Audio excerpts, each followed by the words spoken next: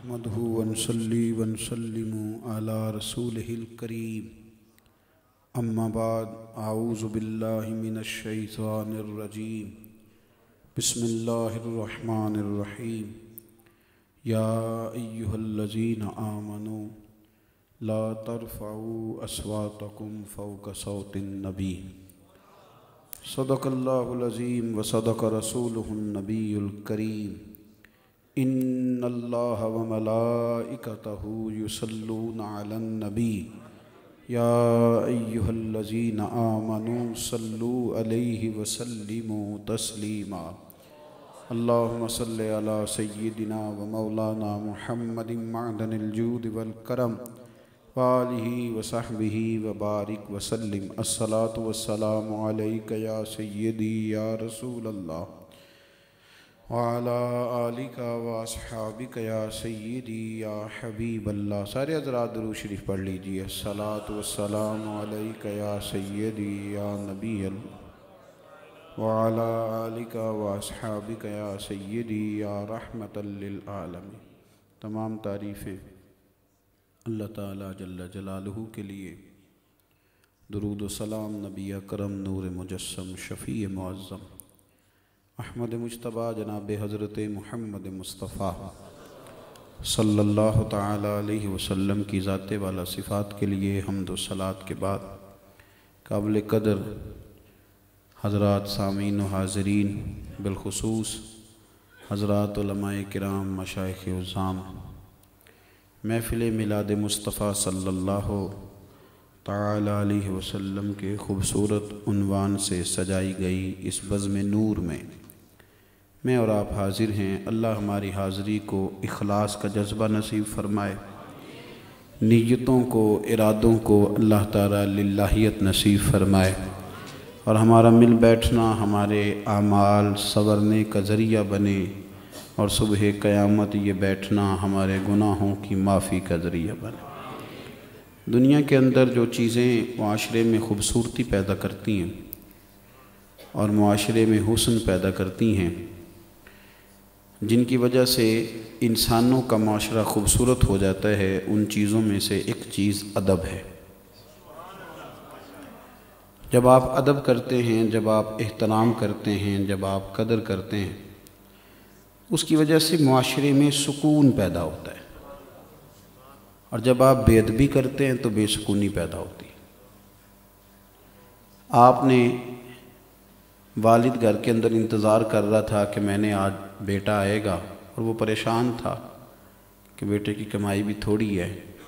उसकी बहन जो दूर मैंने उसकी शादी की है तो उसने कुछ हज़ार रुपए मांग लिए।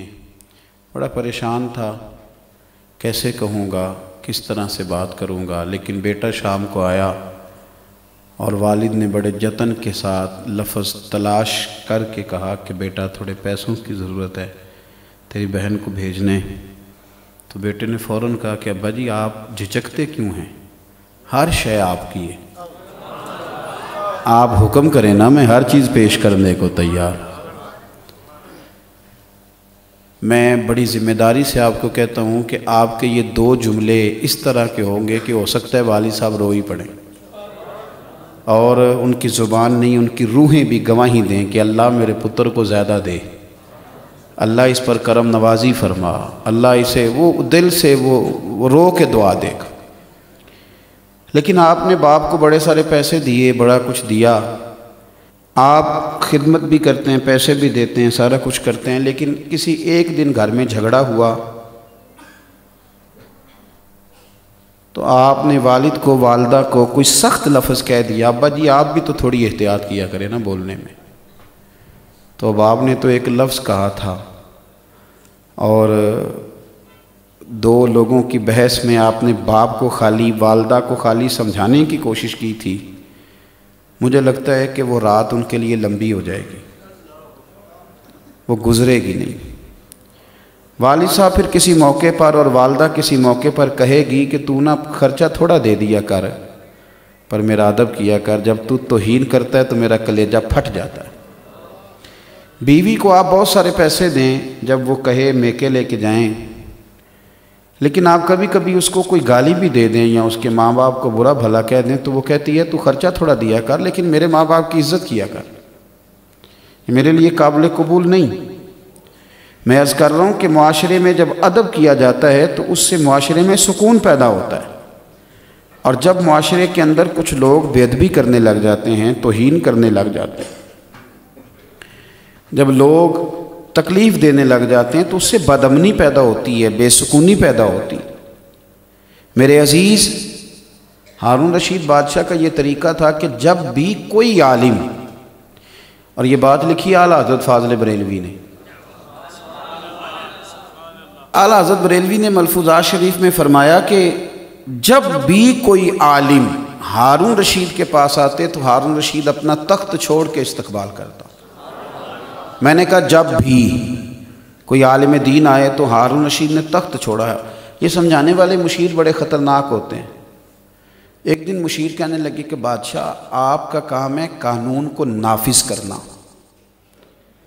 जो कवानीन बनेंगे, आपने उनका निफाज करना।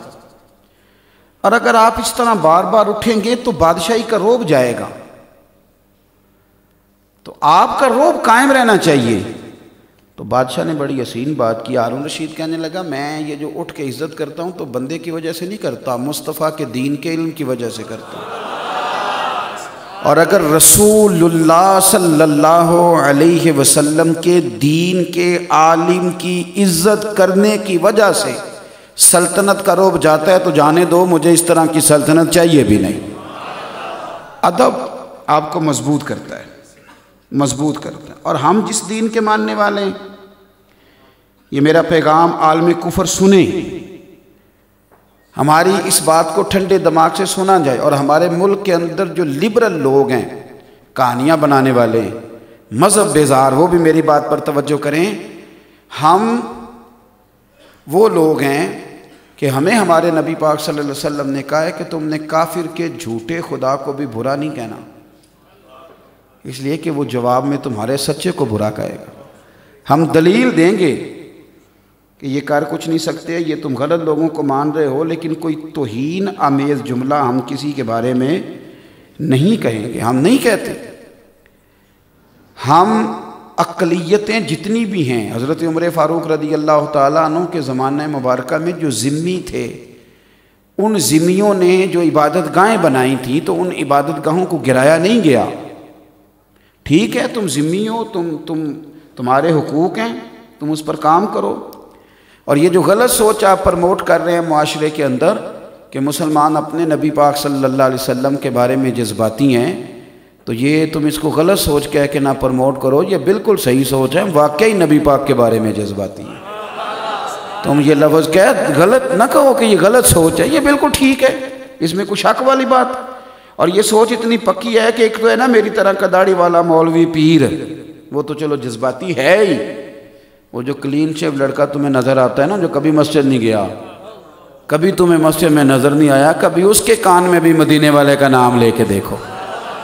ये सच है, इसको प्रापोगंड ना समझो, ये एक हकीकत है कि हम हुजूर के नाम पर।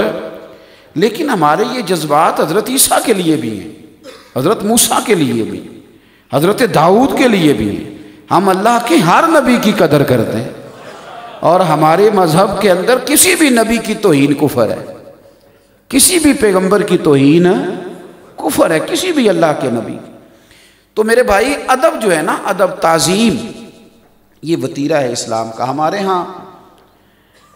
मसला ये बन गया हमारे एंकरों को और टीवी पे बैठे बाज़ लोगों को तोहन की अब इसलिए तकलीफ़ ज़्यादा नहीं होती कि वो रोज़ तोहनें करते भी हैं और कराते भी हैं।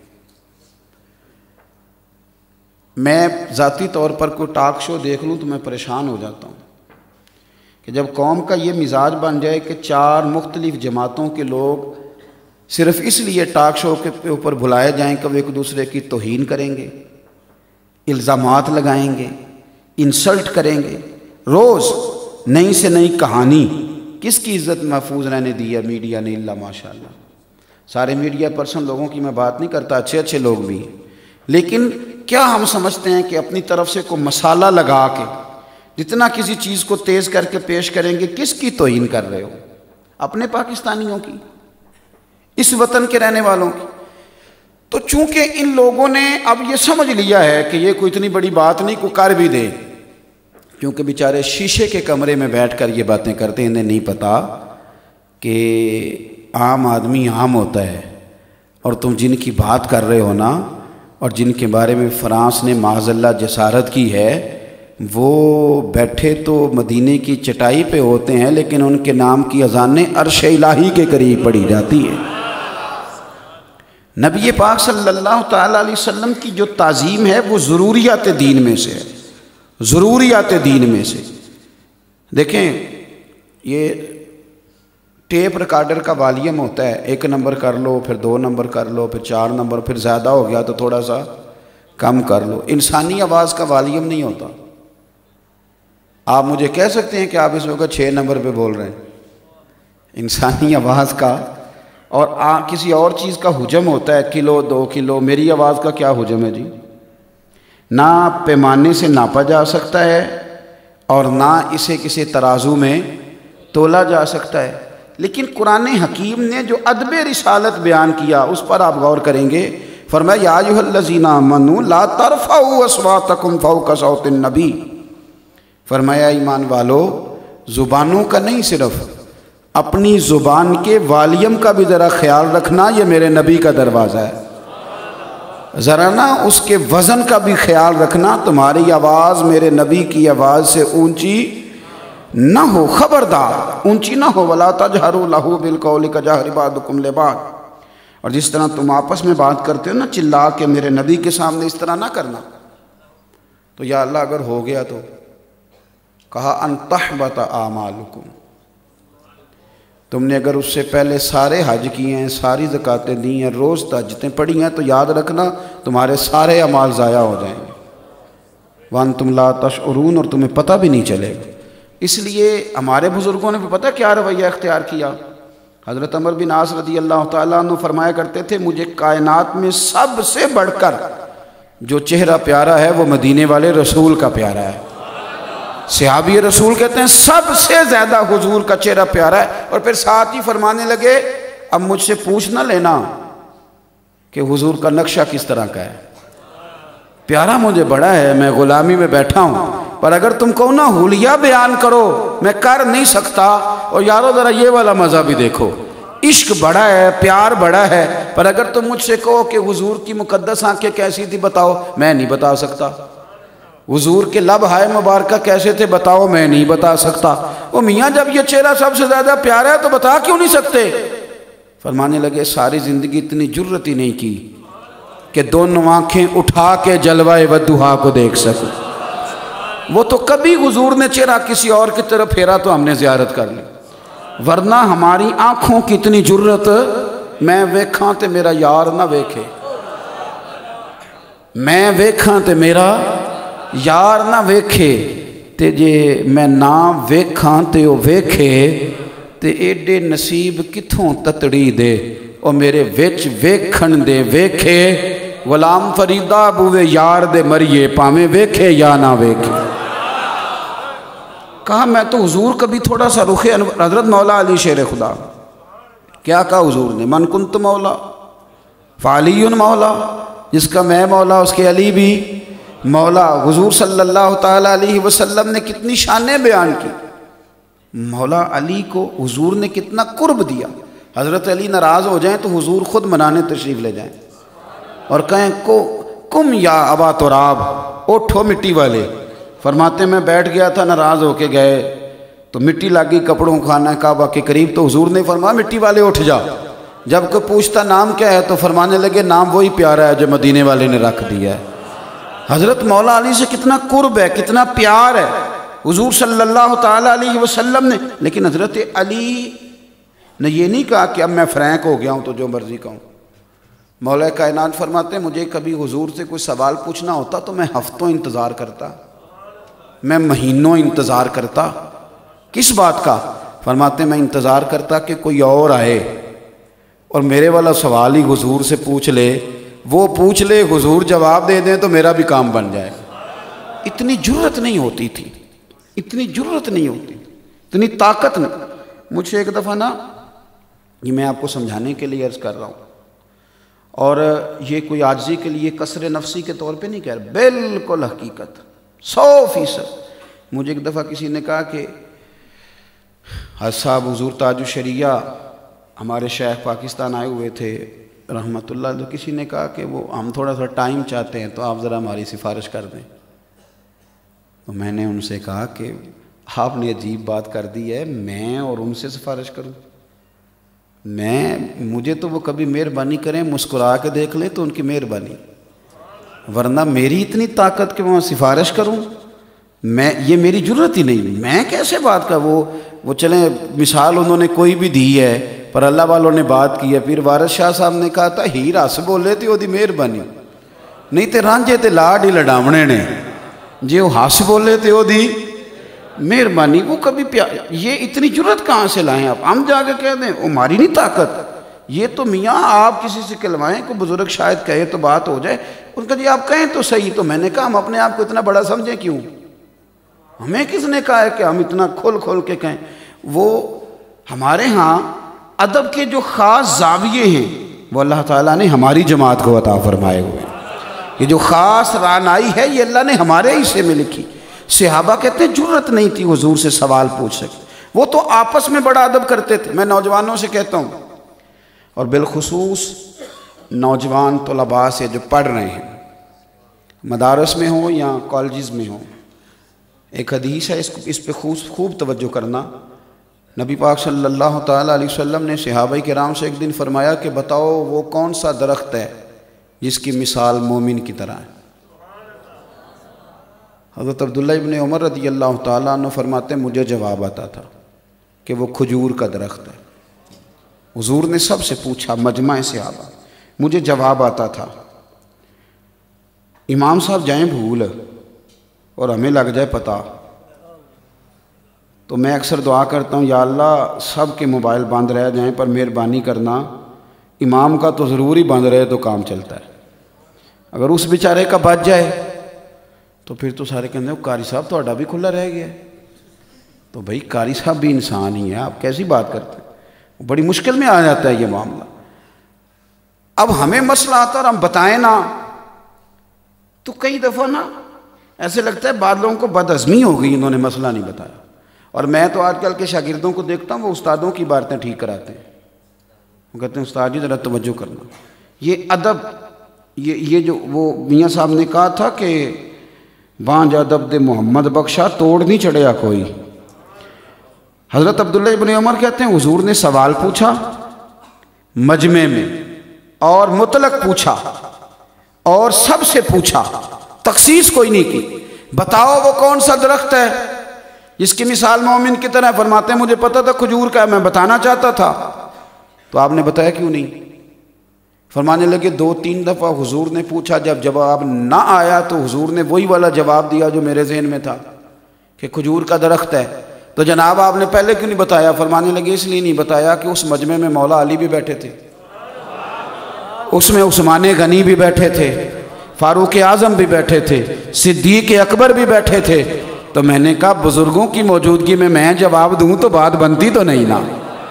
पता भी है तो फिर भी जवाब, अदब जो है ना, अदब ये हुसन है, ये वकार है, ये इकराम है, ये ताजगी लाएगा, ये आपको ठंडा कर बेबाकी और होती है और बदतमीजी और होती है। मैं बेबाक हूँ। बेबाक आप रहे, किसने मना किया है? लेकिन उस वक्त जब हक कहना हो जहाँ अदब करना हो, वहाँ बेबाकी नहीं होती, वहाँ तो एहतराम होता है। और आज़ादी आज़ाद ख्याली और होती है, और आवारा ख्याली और होती है। आजकल आज़ाद ख्याली नहीं है यूरोप के अंदर, आवारा ख्याली है, आवारा। निकाह भी नहीं यार मर्द औरत इकट्ठे रह रहे हैं तो ये आज़ाद ख्याली है कि आवारा ख्याली? ये तबाही इतने इतने सोने जवान मैंने अपनी आँखों से देखे रात को शराब पी के नाली में गिरे हुए हैं। ये आज़ाद ख्याली है? ये तो आवारा ख्याली तो बद तहजीबी है जहाँ पहुँचा दिया तुम। और यही रंग रूप तुमने माजल्ला मुसलमानों के बारे में समझ लिया याद रखें, जब अल्लाह ने कह दिया, आवाज़ भी ऊँची नहीं करनी तो फिर हमारे सूफिया ने पता क्या पैगाम दिया? खाजा गुलाम फ़खरुद्दीन सियालवी फरमाने लगे, बाब जबरील के पहलू में ज़रा धीरे से। फ़ख्र कहते हुए जबरील को यूँ पाया गया, हमने पलकों से ज़रे यार पे दस्तक दी है। हमने हाथ से नहीं दरवाज़ा खटखटाया, हमने पलकों से। अल्लाह करे आपको समझ आए। अल्लाह करे आपको समझ आए। बरेली के इमाम कहते हैं, हरम की ज़मीन और कदम रख के चलना। अरे सर का मौका है ओ जाने वाले। अरे सर का मौका है। खाजा साहब फरमाने लगे, बाप जिबरील के पहलू में, और ये भी नहीं कहते कि हज़रत जिबरील बातें कर रहे थे। कहने लगे, हज़रत जिबरील भी ना धीरे धीरे बोल रहे थे। वो भी वहाँ बातें कर रहे थे, पर ज़रा आहिस्ता आहिस्ता। बाब जिबरील के पहलू में ज़रा धीरे से फ़ख्र कहते हुए जिबरील को यूँ पाया गया, हमने पलकों से दरे यार पे दस्तक दी है, आवाज़ ऊँची हुई तो उम्र का सरमाया गया। एहतराम, और किस दर्जे का एहतराम? हज़रत मौला अली शेर खुदा। ये अक्लमंदों के लिए बात सुनाने लगा हूँ। अक्लमंद नाराज़ ना हो जाएँ। लेकिन मुल्ला रूमी रहमत फरमाते हैं कि अल्लाह ताला ना बंदों को अकल देता है इस्तेमाल करने के लिए। लेकिन लोग सारी ज़िंदगी अकल के हाथों इस्तेमाल होते रहते हैं। सारी ज़िंदगी। इकबाल जैसा सियाणा बंदा कहता है। इकबाल जैसा सियाणा बंदा। इकबाल कहते हैं अच्छा है दिल के साथ रहे पास बाने अकल। अच्छी बात है। अच्छा है दिल के साथ रहे पास बाने अकल, लेकिन कभी कभी इसे तन्हा भी छोड़ दे। और इकबाल कहने लगे, बेखतर कूद पड़ा आतिश नमरूद में। इश्क, अकल थी महवे तमाशाए लबे बाम अभी। और दरवेश क्या कहते हैं? दरवेश कहने लगे कि अकल आख दी झुगे साम के रख। तो इश्क आखद है, बाल के सेकना चाहिए वो याद रख मेरे भाई, ये अक्लमंदों के लिए बात अर्ज़ करने लगा हूँ। वो जो अक्लमंद कहते हैं ना सीधी सीधी बात माने आप। सीधी सीधी बात माने। आप अदब, एहतराम, इश्क, हर वक्त यही कहते रहते हैं, मैं ज़िम्मेदारी से कहने लगा हूँ। उनको पता है, मैं जज्बाती आदमी नहीं हूँ, सादा बंदा हूँ। मैं ज़िम्मेदारी से कहने लगा हूँ, ये जो तुम कहते हो ना, अमल करें। मेरी जमात से बढ़कर मेरे नबी की सुन्नत पर कोई अमल कर ही नहीं सकता। आपको किसने कह दिया है कि अमल कोई और करेगा? अल्लाह के फजल से अमल आया ही हमारे हिस्से में है। सबसे ज़्यादा हाफिज भी इस जमात में दाड़ियाँ भी इस जमात में, इमामें इस जमात में, और मेरे नबी पर दरूद सलाम भी इसी जमात में। अब हमें सबक पढ़ाएँगे अमल का। आम दाम बरसरे मतलब लोग कहते हैं जी वो हुक्म पर अमल करें आप। आप अदब अदब की बात कर रहे हैं। मिशका शरीफ देखिए। नबी पाक सल्लल्लाहु अलैहि वसल्लम ने सुलह कर ली कुरैश के साथ मकाम हुदैबिया पे। नामा लिखने की ड्यूटी मौला अली शेर खुदा की लगी। हज़रत अली ने माहिदा लिखा तो लिखा, कुरैश और मोहम्मद रसूलुल्लाह। पढ़िए सारे दरू शरीफ। सल्लल्लाहु मोहम्मद रसूलुल्लाह सल्लल्लाहु अलैहि वसल्लम और कुरैश के दरमियान माहिदा जब मोहम्मद रसूलुल्लाह लिखा तो कुरैश बोल पड़े, कहने लगे, जी, ये तो फिर बात बड़ी दूर चली गई। आप यहाँ मोहम्मद इबन अब्दुल्ला लिखें। अगर हम आपको रसूलुल्लाह मान ले माजल्ला तो फिर तो झगड़ा ही ख़त्म हो गया। यही तो मसला है हमारा। आप मोहम्मद इबन अब्दुल्ला लिखें। हुजूर मोहम्मद इबन अब्दुल्ला हैं कि नहीं? तो हुजूर ने फरमाया, अली, दोनों मेरी शानें हैं तो इस तरह का रसूलुल्लाह काट के ना तो इबन अब्दुल्ला लिख दे। हुक्म मानना चाहिए था ना? हाँ ना तो करो ना। अल्लाह करे आपको समझ आए। अल्लाह करे, मैंने कहा, मैं अक्लमंदों को समझाने लगा हूँ। ओ भाई, हजूर का हुक्म है कि रसूलुल्लाह काट के ना तो मोहम्मद इबन अब्दुल्ला लिखो। हुक्म दिया हज़रत अली चुप कर गए। हुजूर ने फिर कहा, अली, काट दो। अली चुप कर गए। तीसरी दफ़ा कहा तो मौला अली, शेर खुदा आँखों में आँसू, हाथ बाँध दिए, रो पड़े और कसम उठाई, कसम। अभी अपने कलम से लिखा है, जो लिखना जानता है, उसे काटना भी तो आता है ना? लेकिन अज़ीज़ में मौजूद है, कसम उठा के कहने लगे कहने लगे, सोने आ, मुझे अल्लाह की इज़्ज़त की कसम, मैं लफ्ज़ रसूलुल्लाह नहीं काटूँगा। मैं नहीं काटूँगा, मुझसे काटा ही नहीं जाता। मैं कैसे काट दूँ? तन तंदूर ते हड्डा का बालन, असी हावा नाल तपाया कप कप मुकियाँ पेड़े कीते, इश्क पलेथन लाया तन दा सालन, मन दी हांडी लून सबर दा पाया गुलाम फरीदा वे मैं सारी तेरी तेन अजे यकीन नहीं आया गुलाम फरीदा मैं सारी तेरी मैं सारी तेरी मैं सारी तेरी नमाज़ पढ़ा के मैं तै वाल वेखा मैनू तो काबा भुल गया आ भुल गई नहीं सब सौम सलाता इको यार दा फ़िक्र पे आई का हजूर नहीं काटा जाता नबी पाक सल्लल्लाहु अलैहि वसल्लम भी थे सहाबा भी थे किसी ने नहीं कहा कि लिखा जाता है तो काटा क्यों नहीं जाता? वो समझते थे, अकल की बोली और होती है, अदब की बोली और होती हज़रत सैदना अलीमरतदा ने कसम उठा के कहा, हजूर नहीं काट सकता। तो नबी पाक ने फरमाया, कलम दो, खुद मेरे नबी पाक ने काट दिया। आप थोड़ा सा ना तकाजे। और एक बात और, ये मैं देखें, मैं, मैंने कहा, मैं अक्लमंदों को दावत दे रहा हूँ। एक दावत और देता हूँ, जो इस रस्ते के मुसाफिर नहीं। ये जो हमें कहानियाँ सुनाते हैं ना, कहते हैं आप शिद्दत पसंद हो, इस रस्ते के मुसाफिर ही नहीं, इन्हें क्या पता हो? जब तक बेटा नहीं होता तो बेटे के प्यार का भी नहीं पता होता। और बेटे की बड़ी सख्त शिकायत आ जाए ना, सारा मोहल्ला कहे कि तेरे बेटे ने बड़ा जुल्म किया, आज बड़ी, बहुत बड़ी गलती किया तो अब्बा पता क्या करता है? दो थप्पड़ मार देता है गुस्से में। लेकिन ये वो अब्बा जो सारी ज़िंदगी लड़ता रहा, लड़ाका था। मिसाल दे रहा हूँ। लेकिन आज जब अपने बेटे को दो थप्पड़ मारे तो साथ वाले कमरे में जाके रो पड़ा। तो अब किसी ने पूछा, अब क्यों रोया है? तू तो रोज़ गली में लड़ता था। तो कहने लगा, पहले गैरों से लड़ता था। ये मेरा पुत्र है ना, इसे थप्पड़ लगे हैं तो मेरे मेरे दिल को तकलीफ़ अगर जो गलती पे मारा है।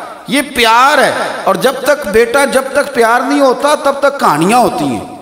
और जब प्यार हो जाए तो फिर कहानियाँ ख़त्म। मेरे सामने एक संगी अपने पीर साहब के हाथ चूमे जा रहा था, चूमे जा रहा था। एक मेरे कोल बैठा कहता वेखो इन्होंने बंदियाँ ने काम मैं क्या वो भी ठीक है, तू भी ठीक है। नहीं समझ रही आपको बात की? हंसना नहीं मस्जिद में ऊँचा। वो भी ठीक है थे कि पीर साहब ये किस तरह मैं क्या वो जिथे वो पहुँच गया ना वो ठीक पे करता है।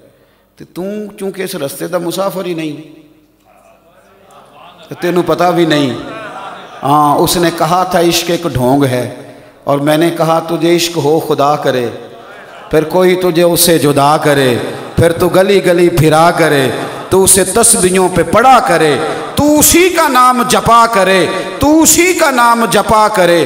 तू उसी का नाम जपा करे। फिर मैं कहूँ कि इश्क एक ढोंग है और तू नहीं नहीं कहा करे। ये तो तब पता चलेगा ना जब मैदान। और सुनो, हमारा तो मैंने कहा, जो बेअमल लड़का है, वो भी मुस्तफ़ा से प्यार खोल के करता है। अमीर मिलत पीर जमात अली शाह साहब कहते हैं कि जगह हिंदुओं का जलसा था, पंडित तकरीर कर रहा था। कोई मुसलमान नहीं, सारे हिंदू थे। उसने नबी पाक सल्लल्लाहु अलैहि वसल्लम के बारे में माज अल्लाह को ऐसी बात कर दी, कोई नहीं। एक सिर्फ़ ना, पीछे बैठा था मलांग, और जिनके पास कई रंगों का डंडा नहीं होता। तो भी पता है कि नहीं? ਤੁਸੀਂ असल शहर च रहते हो ना भी तगड़े शहर मैं पेंडू हाँ और कई रंगों का डंडा होता है। असं उन्हें पंजाबी च मतैर कहने हैं। आप लोग पता नहीं क्या कहते हैं। तो वो उसके पास कई रंगों का डंडा था, पीछे बैठा था वो। उसके कान में ना आवाज़ चलेगी मलंग बंदा। वो डंडा लेके स्टेज पे चढ़ गया। कहते, मैंने एक ही मारा है पंडित के सारे में। मारा ज़रा सही करके। ढेर हो गया पंडित, गिरफ़्तार करके ले गए जेल में। अमीर मिलत पीर जमात अली शाह साहब कहते, मैं मिलने गया। मैंने जाके कहा, ना तू नमाज़ पढ़े, ना तूने दाढ़ी रखी, ना तू मस्जिद काम बड़ा कमाल किया है। तो पीर साहब कहते हैं, रो पड़ा। पंजाबी में कहने लगा हजूर मैनू तो थोड़े भी गल करन दे अदाब नहीं आते दुआ करो ना मैं मसीते जावा दुआ करो ना मैं नमाज़ पढ़ा पर सोने मैं गुनागार हाँ अपने नबी का गद्दार नहीं गुनागार और गद्दार में फ़र्क होता है मैं गुनागार हूँ गद्दार तो नहीं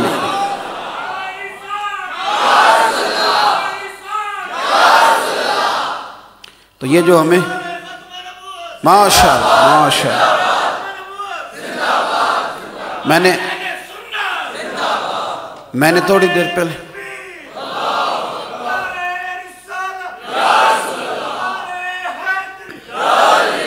मैंने मैंने थोड़ी देर पहले भी एक जगह पे कहा, फिर कहता हूँ कि रसूलुल्लाह सल्लल्लाहु अलैहि वसल्लम की बेदबी नाकाबिल बर्दाश्त है। नाकाबिल बर्दाश्त। और ये जो मैंने मैंने अभी कहा एक जगह पे, और मैं कई दिनों से कह रहा हूँ, एक इमाम साहब ने ना मस्जिद में ऐलान कर दिया कि मस्जिद की खिदमत करो, मस्जिद बन रही है, सवाब कमाओ। तो मोहल्ले का सबसे अमीर आदमी झाड़ू लेके चला गया। सफ़ाई शुरू कर दी। उन्होंने कहा, ये क्या कर रहे हो? कहने लगा, जी, वो आपने तो ऐलान किया ना, मस्जिद की खिदमत करो, सवाब होगा। अमीर बंदा सबसे तो इमाम साहब ने वो झाड़ू लेके तो एक गरीब को दिया। कहने लगा, ये वाला सवाब इसे लेने दे, तू लेंटर का खर्चा दे। तू ये वाला सवाब ले, ये ये जो आपने कहा ना वज़ी अजम साहब ने और फलाने ने कि हम मजम्मत करते हैं तो ये मजम्मत वाला सवाब आप गरीबों के खाते में रहने दें। आप मेहरबानी करें, ये तो मेरी तरह का को माड़ा भी कर लेगा, आप मजम्मत ना करें, आप आँखों में आँखें डालें। हाँ आप आँखों में आँखें डालें और आप उन्हें बताएँ कि हमें और भी बड़ा कुछ आता है। इसलिए कि मुसलमान पर जब नबी पाक का नाम लिया जाए तो उसके रोंगटे खड़े हो जाते आँखों में रोशनी होती है, उसके दिल में नूर होता है। और याद रखना, जब मुस्तफ़ा की इज़्ज़त की बात आए तो तुम्हें दर्द दिल से कहते हैं। ना फिर हमें बच्चे याद आते हैं, ना दौलत याद आती है, ना जवानी याद आती है, ना हमें यार याद आते हैं, और ना हमें अपने वजूद की परवाह होती है। हमें याद आती है तो गुंबद खदरा वाले नबी की इज़्ज़त याद आती। ये पक्की बात। और ना जब तक कट मरू में खा जाए बतहा की हुरमत पर खुदा शाहिद है कामिल मेरा ईमा हो नहीं। तो इसलिए आप अपने जज्बों को जवान रखें। आप अपने जज्बों को ताज़ा रखें। और आप, और मैंने, मैं रोज़ जवानों से कहता हूँ, फिर आपसे कहता हूँ, याद रखना मेरे भाई, आप आप हजरात अवाम जो, ये हुक्मरान बेचारे जो होते हैं, ये आपकी कुत से हुक्मरान होते हैं। आप इस बात को समझें। आप अगर किसी चीज़ को फ़रोग देते हैं ना, आपने काम बड़ी पाबंदी से करना है। हर मकाम पर मुस्तफ़ा करीम के नाम को फ़रोग देना है। अब ना दरुद सलाम ज़्यादा पढ़ना शुरू कर दो। अब फ़िदा का अभी व उम्मी, या रसूल अल्लाह ना हर गाड़ी के शीशे पे लिखवा दो। अब ना मेहरबानी करो। अब आप हर जगह, हर गली, हर नगर डग नगर नगर, या रसुल्ला की बात करनी शुरू। उठते, चलते, फिरते, आला हज़रत फरमाते हैं, ज़िक्र उनका छेड़िए हर बात पर। ज़िक्र उनका छेड़िए हर बात पर, ज़िक्र उनका छेड़िए हर बात पर। एक दफ़ा ना एक महफिल में एक जगह वलीमा था तो मैंने, मैं वलीमे में दाखिल हुआ तो एक साहब नात पढ़ रहे थे। तो एक बंदा कहने लगा, एक तो थानू काम ही नात आता है। मैं आखे, यार, तेरे ताने का बड़ा स्वाद है, एक बार फिर मारी। थानू काम ही नात आता है। मैं आखे, यार, एक बार फिर। क्या बात है तेरी? ये ताना कितना शानदार फिर दे एक दफ़ा। कहन लगा हूँ तुम इस गल का भी मज़ा लैन लग पाए और मैंने कहा, ये हमारा जौक है ना, ये दुबाला रहता है अल्लाह के फजल। जेकर यार दे नाम दा मिले मेना ओनू झोली पा लीए पुंजे सुटिए ना। और मैंने कहा, बड़ा मज़ा आया तेरी बात का। फिर कह जरा एक दफ़ा कि तहु काम ही ना आता अल्लाह का शुक्र है, आज भी लोग हमें यही कहते हैं। और मुझे उम्मीद है कि सुबह क़यामत भी यही गवाही मिलेगी कि ये नातों वाले हैं, ये हजूर की दरुद सलाम वाले, ये जायकों वाले। लेकिन एक बात ये है कि बात मेरी मुकम्मल हो गई। एक बात ये है कि जो होता है ना मुहब, उसके तौर तरीके बताते हैं कि इसका महबूब कौन है। मेरी बात की समझ आ रही? जलवा ना मतलब आप अगर सेब तोड़ के लाएँगे तो पता चल जाएगा कि ये अनार के दरख्त से नहीं टूटा। ये सेब के दरख्त से ही टूटा है। अगर आपकी वजह कता भी नबी पाक जैसी हो उठना, बैठना, खाना, पीना, चलना, फिरना, पता क्या है? अमल के मामले में हम बड़े कमज़ोर होते जा रहे हैं। और इस कमज़ोरी ने हमारा नुकसान किया है। जो आदमी कहता कुछ और है और करता कुछ और है ना, वो बड़ा बेचैन रहता है। और जो बंदा अपनी ज़िंदगी अमल के साथ गुजारता है, रब उसे सुकून अता कर देता है। जब आप ये कहते हैं ना कि मैं नमाज़ पढ़े नमाज़ पढ़े, लोगों कहते हैं, खुद नहीं पढ़ते तो आपको यूँ लगता है कि आप कोई अदाकारी कर रहे हैं। आप बेचैन रहेंगे। अपनी ज़िंदगी, ये उनवान था आज। मेरे ज़िम्मे जो मैंने अर्ज़ कर दिया, लेकिन एक बात याद रखना, अमल अमल होता है। अमल अमल होता है। हमारे काफिर नहीं मानेगा। पता है हमारा माहौल क्या है? वो हमें अपनी मिसाल देते हैं, कहते हैं, ये देखो, हमारे यहाँ लोग कानून की पाबंदी कर रहे हैं। तो हम उन्हें कहते हैं, हज़रत उमर के ज़माने में भी पाबंदी करते थे। तो मेरा ख्याल है कि ये बात बनती हुई दिखाई नहीं देती, इसलिए कि वो जब अपनी मिसाल दे रहा है तो हमें भी तो अपनी देनी चाहिए ना। मेरी बात की समझ आ रही? अमली तौर पर अपने आप को मज़बूत करें। मैं कहता हूँ कि जिसने बेटी का हिस्सा नहीं दिया, उसने भी मिलाद कोई नहीं मनाया। जिस बंदे ने बहन का हिस्सा नहीं दिया जायदाद में से, उसने क्या मिलाद मनाया? और हुजूर ने तो औरत के पर्दे की बात की तो जिसके घर में बीबियाँ पर्दा ही नहीं करती, उसने क्या मिलाद मनाया? और नबी पाक ने मिलाद शरीफ पे तशरीफ़ लाते सर सजदे में रखा। और जिस बंदे ने पंज वक्ता नमाज़ भी तवज्जो से नहीं पढ़ी, उसने क्या मिलाद मनाया? तहजद तो अलग रही और रसूल पाक सल्लल्लाहु अलैहि वसल्लम की ज़ुबान मुबारक पर तशरीफ़ लाते ही उम्मती उम्मती के लफ्ज़ थे तो जिसने हुजूर की उम्मत से प्यार ही नहीं किया, उसने क्या मिलाद मनाया? इसलिए तरजीहात भी बदले, तरजीहात भी। आपका ना लबो लहजा किरदार, अमल, ये भी तो बतलाए ना कि हमें हुजूर की ग़ुलामी हासिल है, हमें ये शरफ़ हासिल है। फिर अगर हम ये काम नहीं करेंगे तो फिर भी मोहब्बत में लोग हमें कमज़ोर महसूस करेंगे। फौरी तौर पर, मैंने इस बारह रबी अव्वल को एक दोस्त के चेहरे पे यूँ हाथ रख के कहा, मैं कि यार, तू दाढ़ी रख लै। तेन को पूछे, खैर है? तो उन्होंने कही, मेरी मिलाद शरीफ वाली दाढ़ी है। मैंने बारह रबी अव्वल को रखी है। तो इस तरह का मिलाद भी मनाओ ना। ये भी तो ज़रूरी है ना। अमल का रास्ता इख्तियार करेंगे, आप बड़े अच्छे रहेंगे, आप बड़े ठंडे रहेंगे, बड़े सुकून में रहेंगे। आपका लबो लहजा उठना, बैठना, चलना, ये सारा उस तरह का हो जो हमारे नबी ने हमें बताया। और मैं चूँकि बात ख़त्म करने लगा हूँ, हुजूर को खाने की ज़रूरत नहीं। हुजूर तो फरमाते हैं, मैं रात अपने रब के पास गुजारता हूँ, वो मुझे खिला भी देता है, पिला भी देता है। फिर भी सरकार ने जो यहाँ बैठ के खाना खाया है ना, वो इसलिए खाया कि हमें खाने का तरीका समझ में आ जाए। तो सरकार ने तो एक एक चीज़, आप किसी भी एक चीज़ पर हुजूर की तालीमत हासिल करना चाहें तो आपको मिलेंगी। शर्ती है कि ज़ौक बनाओ। और मैं आपको बताता हूँ, आप ये रास्ता इख्तियार करके देखो, आपको मज़ा आएगा इन तवज्जो है मेरी बात पर? आप सुन्नत शरीयत का रास्ता इख्तियार करें, आप यकीन करें, बाकी सारी चीज़ें आप भूल जाएँगे। मज़े। पूछने की ज़रूरत ही कोई नहीं, किस तरह बैठना है रोटी खाते वक्त। मोटी सी बात है, पहले हाथ धोने पर एक जो है हमने बिछा लेना पैर, दूसरी टांग खड़ी करनी है, फिर हमने बिस्मिल्लाह शरीफ पढ़नी है, फिर हमने छोटे निवाले तोड़ने हैं, उसको चबा चबा। आपको ज़रूरत ही नहीं पड़ेगी। एक एक एक ज़ौक बन जाएगा। इस ज़ौक के साथ अपना वक्त गुजारें। अल्लाह ताला हमारा मिल बैठना कबूल फरमाए। महफिल मेरा ख्याल अभी जारी रहेगी। तो चूँकि लोग तो आते जाते रहते हैं, सरकार के नाम की महाफिल हैं तो आप हजरा तशरीफ़ रखेंगे, प्रोग्राम जारी है आपका। आखिर दावा, यानी अलहमदिल्ला